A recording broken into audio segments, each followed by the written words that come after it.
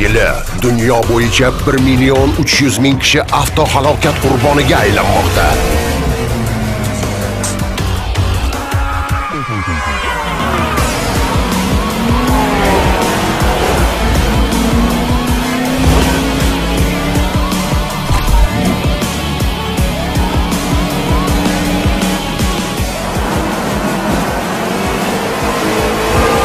Qurbonlarning qariyb 60 foizini 15 yoshdan 44 yoshgacha bo'lgan kishilar tashkil etadi.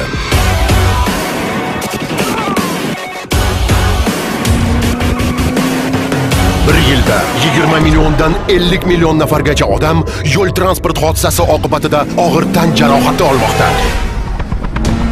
377 OAA raqamli qora rangli Malibu avtomobili